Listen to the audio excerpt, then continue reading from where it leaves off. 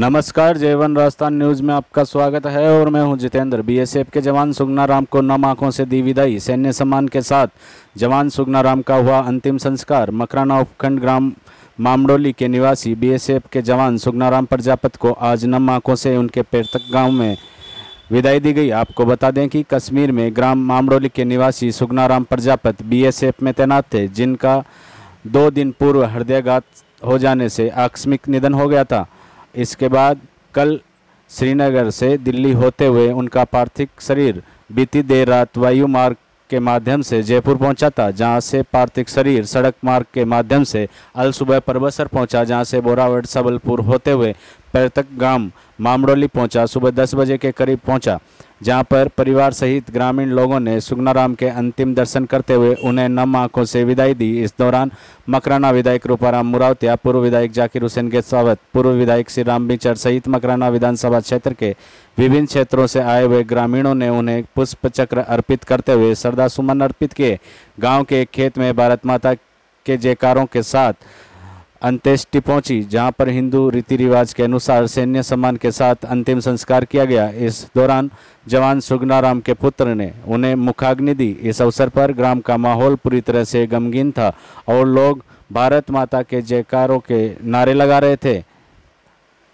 मकराना से जितेंद्र सेन की रिपोर्ट।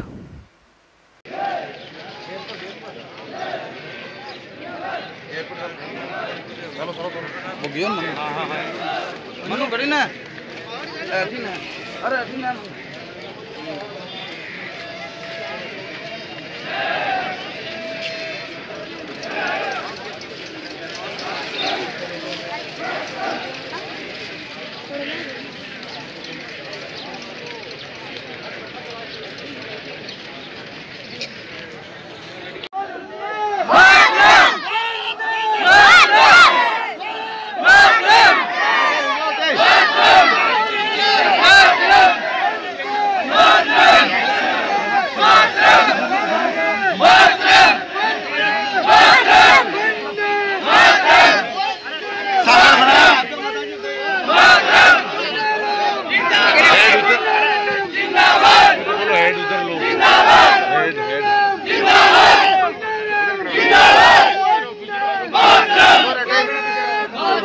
भाई